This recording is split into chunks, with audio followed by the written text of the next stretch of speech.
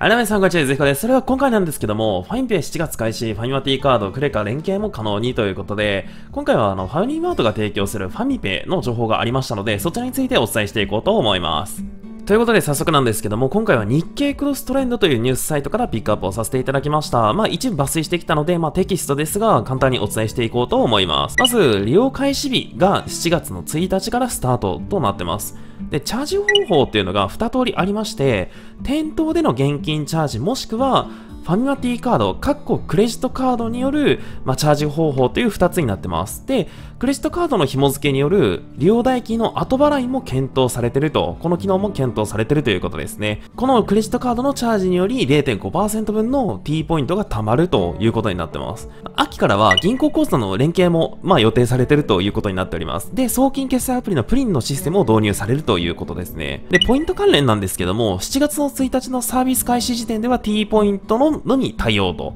で、11月からは D ポイント、ドコモの D ポイントと楽天のスーパーポイントにも対応されるみたいですね。で、今回僕これ見て思って面白かったのが一つ大きなメリットがありまして、ポイントの一括管理というのがちょっと面白くてですね、ファミペイのアプリに各ポイントと連携することによって、画面に独自のバーコードが生成されるみたいなんですよ。で、そこでポイントの付与、利用とファミマでの支払いで同時に行うことができるということですね。なのでまあ、ローソンとか行くと、ポンタカードを提示して LINE 隠蔽で支払うというちょっとした手間がかかるので、まあ、これが解消されるっていうのはまあ大きいんじゃないかなというふうに思います。で、あとまあデメリットとしたら、まあデメリットっていうのは他社のクレジットカードのチャージ予定っていうのがないということですね。まあなので、あの、まあクレジットカードはファミマ T カードしか対応しないということでしたので、まあちょっとこれは不便に感じるのかなというふうに思いました。ということで今回の動画いかがだったでしょうか？短めでしたけどもファミリーマートが提供するファインベイの情報でした。もしですね正式な情報が発表されましたら改めて動画にしたいと思います。ということでこの動画がいいなと思ったらチャンネル登録グッドボタン